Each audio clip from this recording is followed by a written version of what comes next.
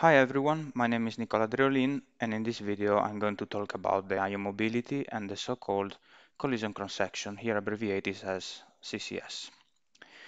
I will not follow the standard approach, I will try to find the intrinsic sense of the CCS values instead and by doing so I will simplify the mathematical formulae and physical theories in order to make them more applicable.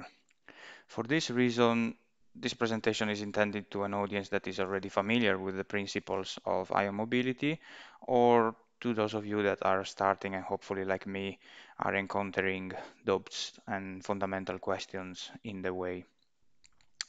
I must declare a conflict of interests. I work as a scientist for Waters Corporation, a company leader in the manufacturing and commercialization of ion mobility mass spectrometry instruments. However, I will try to go through all the arguments in an objective manner and I will be as impartial as possible. The topics that I'm going to cover are summarized in these points here. I'm going to briefly explain what is ion mobility and what uh, we use ion mobility and CCS for.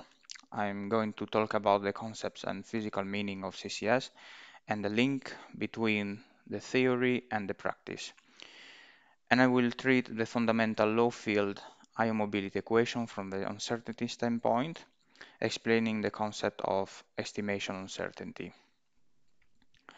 So let me spend 30 seconds on the fundamentals of IMS. In general terms, ion mobility is a technology that allows the separation of ionized molecules in the gas phase. Ions are separated because they are accelerated by an electric field and decelerated by the collisions with a buffer gas, also called drift gas.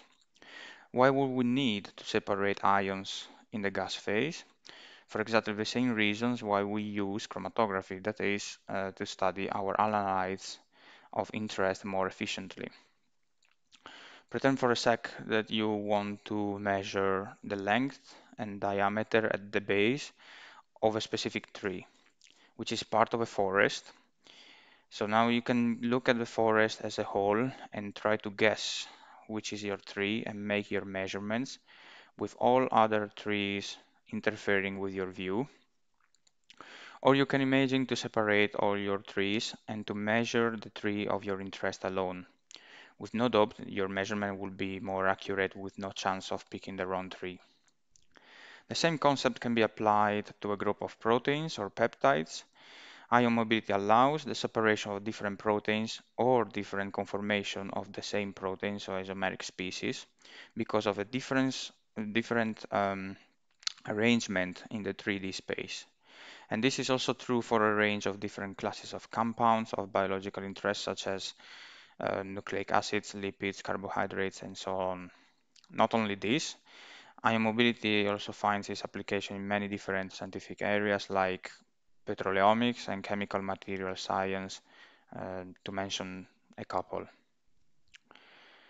So ion mobility is utilized by researchers for two main purposes. First, as another dimension of separation that can be complementary to the mass spectrometry and mind the words here complementary does not mean orthogonal.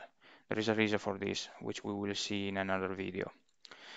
Thus, uh, we can use ion mobility for increasing the peak capacity.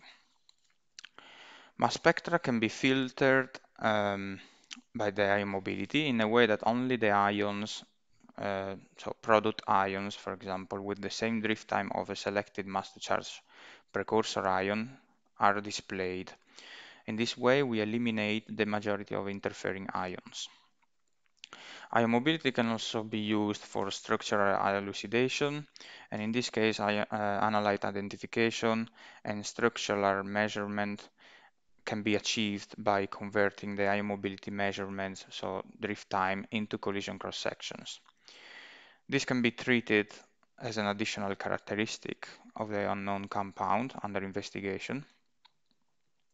Um, and with some experimental condition, we can uh, use uh, ion mobility in addition to mass uh, accuracy, isotopic ratio, and fragmentation pattern.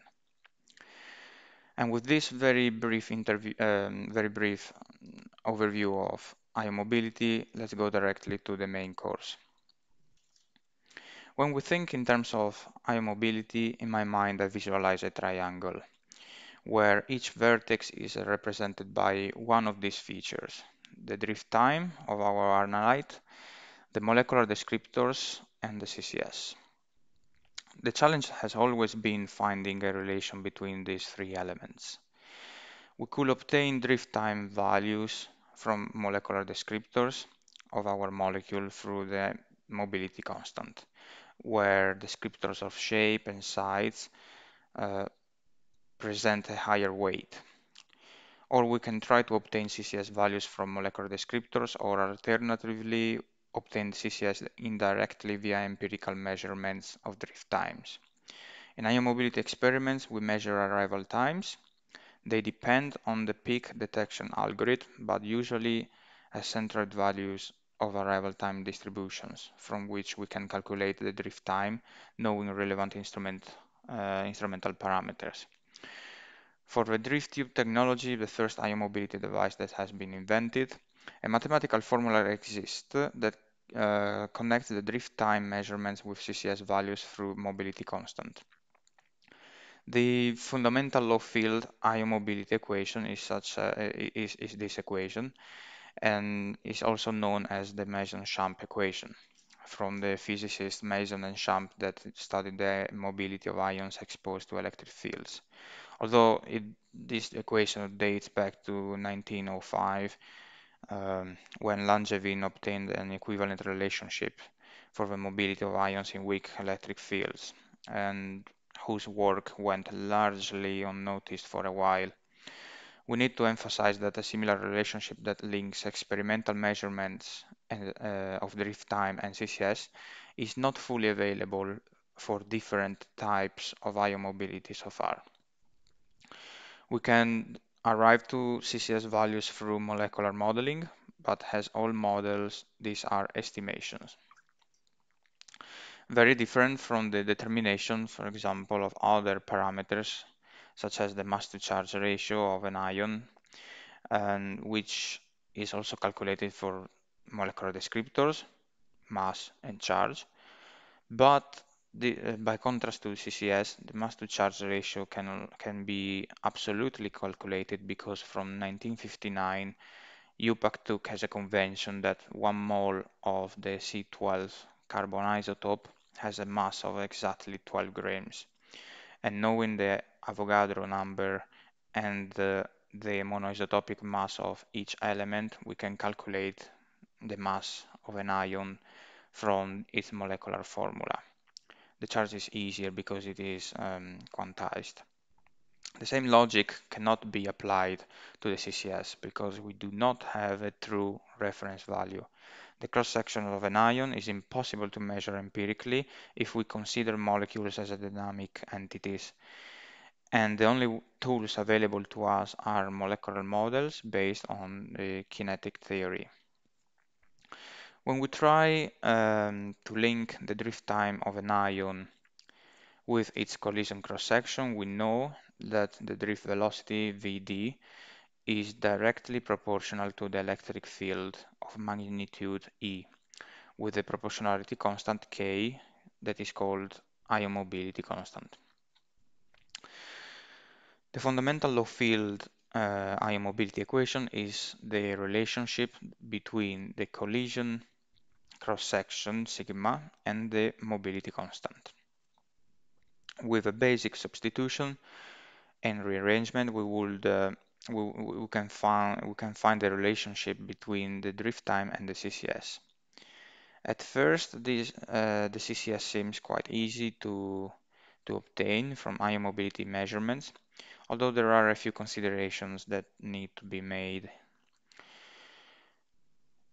So normally, uh, a physician tries to find a relationship between two quantities which he or she can measure if we want to find the physical relationship between the CCS and the drift time, we should first make some measurements and then try to derive a mathematical formula with physical meaning that connects these quantities. The problem is that in contrast to the drift time, the CCS of an ion is impossible to measure directly. However, we do have a quantitative relationship which has been derived by a statistical approach using the momentum transfer theory um, to balance the ion energy and the momentum gain in the electric field and lost in the buffer gas collision.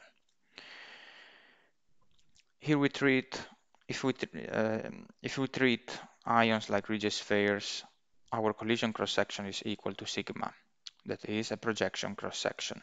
And this is the animation that Waters usually propose to give the idea of the CCS we can easily visualize a model structure of a polyatomic ion by placing spheres at the position of each atom and projecting a shadow of the molecule onto a screen obtaining an area, usually expressed in angstrom squared, which is a cross-section area corresponding to the collision area. And averaging the projection cross-section over all possible molecule orientations yields an average cross-section. Here we need to enter the world of molecular modeling for a second. Um, the concept of projection cross-section was first advanced by Mack in uh, 1925. He developed the projection approximation model and calculated the collision, the um, cross-sectional areas of molecules from the diffusion coefficients by means of the Stefan-Maxwell-Jeans equation. We can see two examples here, anthracene on the left and naphthalene on the right. Using this type of model to test candidate structure of molecules with unknown, um, unknown structure only works um, if the atomic radii are known. The problem is that ions are not rigid spheres and atomic radii are not constant from, this, from system to system, uh, are not constant from molecule to molecule, and even from conformation to conformation of the same molecule. For example, it was found that the fullerene carbon atom, um, the radius of the fullerene carbon atom measured at 300 Kelvin is not the same as that at 400 Kelvin. Similarly, a carbon atom of fullerene C60 does not have the same radius as a carbon of uh, glycine. And again, the glycine atomic radii in the free amino acid are not the same as those of glycine embedded into a protein. This means that using the simple projection cross-section with fixed with fixed atomic radii can lead to errors when we when comparing its prediction to um, ion mobility data. There is another problem. The experimental quantity that we measure is a drift time, which can lead to the mobility constant. If we want to use ion mobility data to derive the CCS from, from our experiments, in the fundamental law uh, field ion mobility equation, sigma must be converted from a projection cross-section to a collision cross-section, which means which means that we need to take into account the average area exposed to collisions with the buffer gas. To do so, a momentum transfer cross-section must be evaluated, and the momentum transfer depends on the scattering angle of the colliding particles and this parameter is not considered in the projection approximation model of Mack. In particle physics, momentum transfer is the amount of momentum that one particle gives to another particle. The momentum p is the vectorial product of the mass of a particle and its velocity. In other words, uh, momentum transfer q is the variation of momentum of a particle that is colliding with a second particle. From the second principle, from the second uh, kinetic law, we know that the force applied to a material point is equal to the derivative of the momentum p with respect of the time. For calculating the momentum transfer, we should measure the velocity of each particle before and after the collision, as the delta momentum is integral of the force in the delta time between T1 and T2. We should then transition from the concept of collision cross-section to collision integral cross-section. The collision integral is related to the scattering angle, which is the angle between the trajectory before and after the collision. If the particles can be treated as hard spheres that interact by direct contact, the effective momentum transfer cross-section omega for the collisions of, of, of a pair of um, particles is equal to sigma. By contrast, uh, for particles with concave surfaces where multiple bunches of the surfaces are possible within one collision trajectory, the calculation of omega is more complex. The Jarrold group developed the exact hard-spherical scattering model, EHS, that takes into account the complexity of the scattering angle, um, which is um, which can be referred to chi in this in this formula. Um, so it considers chi of concave bigger ions, and this accounts for multiple collisions where a, trajectory is reflected from one part of a cluster to another part. And since all polyatomic ions consist of discrete atoms, parts of their surfaces are technically concave. Consequently, the exact hard sphere collision integrals of all polyatomic ions deviate from their projections. Essentially, they have developed a computer code um, able to find the true hard sphere collision integral for an arbitrary body, and this is accomplished by solving numerically the equation here reported. The same authors realized that, especially for small ions and at room temperature, or even below, the effect of long-range potential in the ion-neutral interaction is not negligible. And they have developed a model named uh, trajectory model, which accounts for both short and long-range interactions. The first term in this expression is a sum of the two body 6 and 12 interactions, and the second term is the ion-induced dipole interaction. Here we assume that the charge is distributed equally over the ion.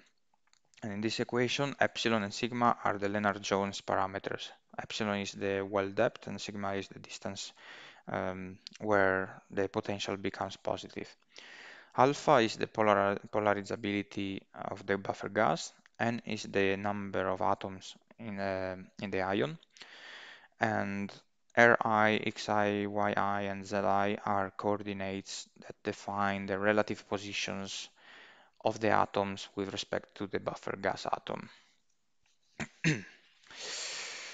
Here I report an image from a review of Gabelica and Marklund where the practical effects of the three models mentioned here are well shown and it is evident that only the trajectory method considers the longer range interactions as it can be Uh, appreciated by the light green lines.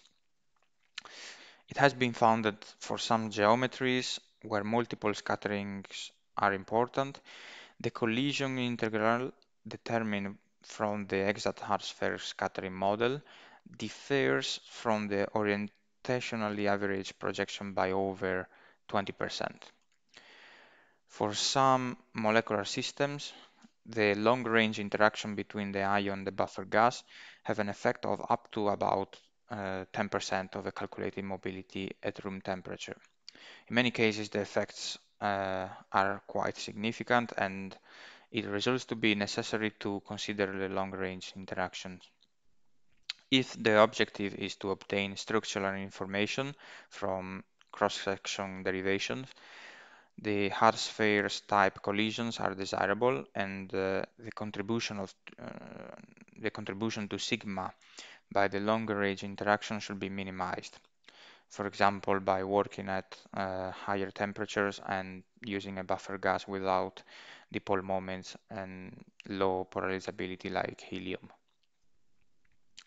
In recent years, a number of different publications that propose improvement uh, improvements of the aforementioned models have emerged, including local collision probability approximation, LCPA, for the, reducing the computing time of the trajectory method, or extensions to accommodate inelastic scattering. With respect to the projection approximation, the projected superposition approximation employs a mean field approximation for scattering based on the surface characteristic of an analyte and approximates long-range interactions via a distance and temperature-dependent collision probability. I will not go into more detail here.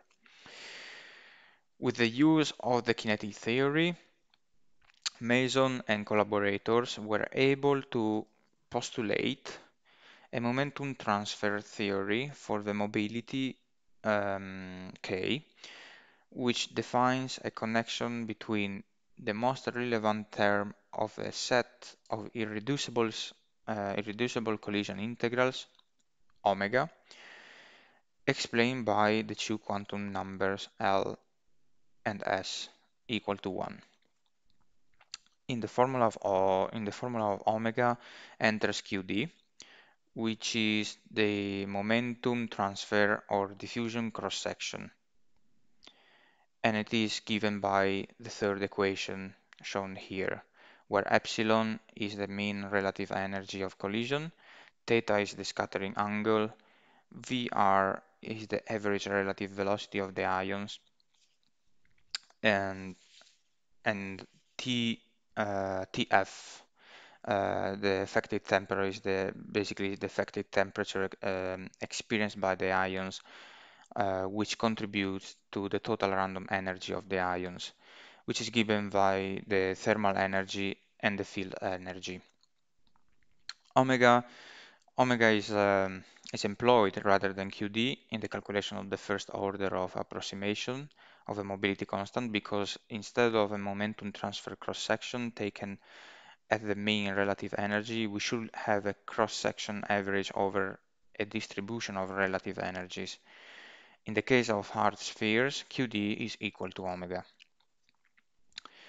For the derivation of the CCS values from ion mobility experiments, we are used to refer to the second equation of the mobility constant, although we must make an important consideration. Effectively, this equation based upon a series of um, approximations. To start off, um, the most relevant assumption is that the mobility constant K does not depend on the ratio E to E over N because we operate under weak electric fields. The proportionality equation on the drift velocity v is equal to k uh, to the mobility constant pair uh, times the um, electric field. Is only this this equation is only true at the low fields. And the assumption is that under the influence of uh, weak fields the kinetic energy of the ions is mostly thermal. Here we assume that k is, is basically equal to k0 but k is not actually constant, as it depends on the ratio E over n. And this dependence is more and more important at high electric fields. K is, is expanded as a power series of uh, in E over n, where only even powers will appear, and alpha is the um, expansion coefficient. Recently, Siems and co-workers have come up with um, some very interesting implementation of, and correction of the fundamental low field ion mobility equation, conveniently modified, accounting for the dependency of the mobility constant from the ratio E over N. They address the problem that in modern IMS uh, mass spectrometry instruments, the ion drift velocity may be 10 or even from 10 to 50 percent or more of the thermal speed component and analysis using the zero field equation in the low field limit gives, gives rise to erroneous cross-section. They developed the corrections factors for the low field equation from an improvement of the momentum transfer theory and from the well-known two temperature theory.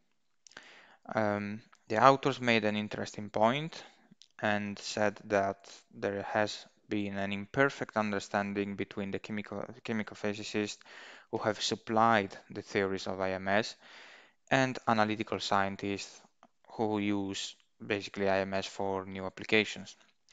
In fact, analysts move from experimental towards structures, whilst kinetic theorists move from structure towards measurable quantities. And this is one of the reasons that pushed me to make this video, basically to try to find the link between the theory and the practice, or at least attempting to do so. So linear IMS methods such as drift tube or traveling wave ion mobility are supposed to work in the low field limit and assume that the uh, ratio E over N is low enough so that the K is equal to K0. It is presently unclear how low the ratio E over N must be for the linear regime to remain valid. For atomic uh, ions in noble gases, the low field limit is of the order of 10,000 but recently uh, the ratio E over N effects for uh, polyatomic ions were reported below even even below 4,000. And I report here a table from a review of Gabelica and Marklund where we can see that typically E over N ratio are up to 15,000 for commercially uh, commercial drift tubes and usually below 160,000 for traveling wave and the fundamental low field ion mobility equation is valid only at electric fields weak enough so that the drift velocity Vd is small compared uh, to the thermal velocity Vt, which is um, which is the average ion neutral relative speed at zero field. And here we can see that the traveling wave technology uh, present typically higher drift velocity compared to the other platforms, which is approaching to the thermal velocity. So this assumption might not be fully justified in certain cases. A second assumption is that only binary collisions ion neutral molecule are important and many body collisions are negligible. This usually means that uh, the drift gas pressure should be less than a few atmospheres. Um, we also assume that there are so few ions as compared to neutral molecules that ion-ion collisions can be ignored and that there is negligible chance of a given neutral ever colliding with two ions consecutively. This can be only applied to small ions, meaning to ions of molecular dimension whose diameter are small compared to their mean free paths, lambda, which is the average distance the particles travels between collisions with other moving particles. Here in this formula, eta is the velocity, uh, sorry, the viscosity of the gas, P is the gas pressure, and m is the molecular mass. This assumption does not apply to macroions, where multiple collisions become important, and the derivation of this equation breaks down. Effectively, for macro ions, the gas behaves like a continuous fluid and creeps around the surface of the particle in viscous flow. A third assumption is that ions and neutrals collide like rigid spheres. In this way, by using the Einstein relation, the average momentum transferred to the neutrals by the collisions is therefore equal to the average momentum gained by the ions between the collisions where Q time uh, Q per E is the force on, on the ion, tau is the mean time between the collisions, v is the vectorial neutral velocity before collision, and v prime is its velocity after the collisions. And since the drift gas net velocity before collision is negligibly small, the average neutral velocity can be taken as zero. So v is equal to zero. And the equation simplifies to this. In other words, we assume that collisions have a randomizing effect on the direction of the ion motion and the ion is just as likely to be scattered in one direction as another. Uh, if, if, if we view this in a, in a coordinate system moving uh, with the center of mass of the colliding ion molecule pair, which means that we assume the relative velocity of the ion after collision Vr is equal to zero. A fourth assumption, which is a direct consequence of the previous one, is that even if we try to account for the contribution of the field to the ion energy, at some point we have to assume that for uh, conservation of momentum and conservation of energy, only the elastic collisions take place which means that the kinetic energy is maintained after the collision. Essentially, also in ion, uh, in basically in non-completely non-completely elastic collisions, the fundamental low field ion mobility equation remain valid. Although the calculation of the collision integral omega becomes more complex. This is because the Einstein relation um, remains valid rigorously and since diffusion involves mass transfer and mass is, is, is, conserved in an elastic collision as well as in, an, in elastic collisions, we should not expect in elastic collision to modify the diffusion and the mobility very much.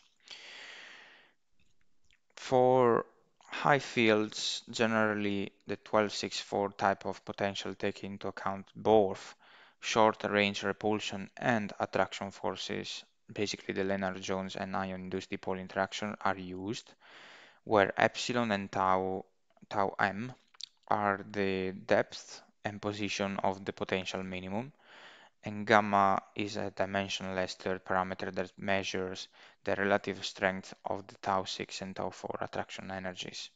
This, models, this model assumes that an ion and a neutral an ion and uh, a neutral molecule behave as center and, and as point center of force with, uh, with the center of repulsion, attraction, polarization, etc. are located exactly at the center of mass. In a system of i to n particles, each with mass mi and spatial coordinates ri, the coordinates of the center of mass is r, capital letter, and the second equation is a rearrangement of the first one, and m is the sum of the masses of all particles. Now, this assumption could be valid for small ions and small neutral molecules, but it is not the case for large molecular ions. And even in an imaginary small molecule, the charge can be well far away from the center of mass, depending on factors like electronegativity, protonation, deprotonation sites, availability of lone pairs of electrons, charge localization effects, and so on. The 12-4 core model attempts to account for such features uh, in, a simple way by adding a rigid, rigid spherical core to one of the point center models. Here, a is the effective core diameter, and both the 1264 and the 124 models are based on the assumption that permanent dipole and quadrupole moments in the neutral molecules are neglected.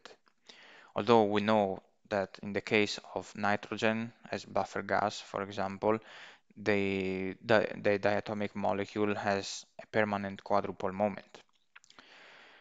Finally, another important point to remember is that this expression for the mobility is only the first approximation of a rigorous kinetic energy, uh, sorry, a rigorous kinetic theory for low field strengths. And improvements amount to up to 2% for ions whose masses are equal to or greater than the mass of the neutral molecule, which means in the majority of cases. This means that in general for low field limits, K1 is a good approximation of K and omega 11 is also a good approximation of sigma. Although to improve the model further, especially for higher fields, higher order terms with uh, indexes L and S higher than 1 should be used. At this point, we came to the conclusion that the term omega appearing in the fundamental equation is not a collision cross-section, but is rather it is rather a momentum transfer collision integral. And for rigid spheres, omega uh, equals sigma, the projection uh, cross-section. However, it is important to keep in mind that the two parameters are not the same and differences between sigma and omega can reach 20%, uh, especially for geometries with large concave surfaces. But because collision cross-section has been widely used and abused for a long time by uh, practitioners and scientists around the world, including myself, I will maintain the CCS annotation in this presentation, but we always need to keep in mind what its meaning actually is. When we make experiments, uh, what we really measure is a drift time from which we should be able to calculate directly the mobility constant.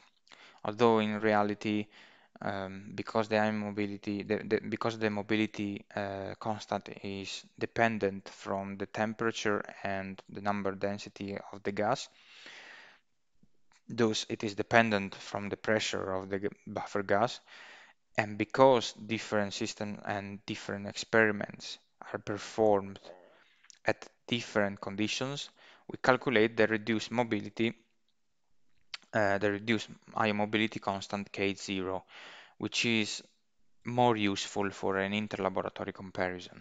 Although it is important to note that K0 still depends on the temperature T, on the uh, ratio E over N, in the form that we have seen before, and on the nature of the buffer gas. In fact, in ion mobility experiments, in addition to omega, it is good practice to state K0 accompanied by the temperature, gas composition, gas pressure, the electric field ratio and the E over N ratio if possible. Uh, so all parameters affecting K and therefore the CCS. A second important consideration is that the fundamental low field ion mobility equation is still a model with the approximation and assumption listed before. All the approximation that we have briefly cited um, here are going to feed into the estimation uncertainty, which will contribute to the bias of our measurement, which, by the way, are purely empirical. And we cannot talk in terms of theoretical CCS here, as we are making experiments and the property being measured is not an absolute constant attribute of the analyte. K0 and the CCS depend on the population distribution of ion structures sampled in the experiment, which can be different from different uh, experimental setups. Um, furthermore, we measure drift times, those K0, which depends on temperature, pressure, and gas composition. Then we derive the CCS values through a mathematical model. Uh, through a mathematical model, which means that the CCS are not an absolute quantity, but rather a, a, derived quantity because they are not obtained directly. Plus, unlike the mass of a um, unlike the mass of a molecule, for example, saying that the CCS is a physical-chemical property of a molecule is not strictly correct because it, der it derives from K. And we have seen that, for example, by switching from one gas to another, K can change. Therefore, the CCS will change as well.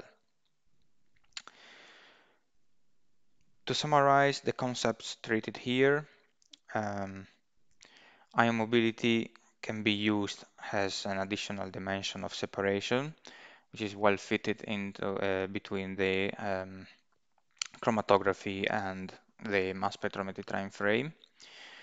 Um, I want to use the uh, same words that Valerie um, Gabelica uses in many occasions. Ion mobility measures mobilities, not surfaces. And with this, I mean that we need to be careful in what we say. We are not uh, measuring the collision cross-section, we are measuring arrival times, from which we derive subsequently a momentum transfer collision integral, conventionally called CCS, and defined in squared, which is related to the projection cross-section, but it is not the same thing. The fundamental ion mobility, uh, the fundamental low field ion mobility equation, also known as the Mason-Schamp equation, is a model, and it is affected by a bias, where the estimation uncertainty plays a role in the derivation of the CCS values. With this, I want to thank you for watching. In the next video, I will go through the methods for deriving CCS values in practice and we'll give you some insights on why the type of calibrants affects the CCS in traveling wave. Most of the concepts, figures, formulae that you have seen are referenced at the bottom of each slide. In case you want to dig more into IMS and CCS, you you have all the information there. If you want to, if you have any comment, consideration, suggestions, please do get in touch. You can also find me on LinkedIn and uh, on ResearchGate. Ciao.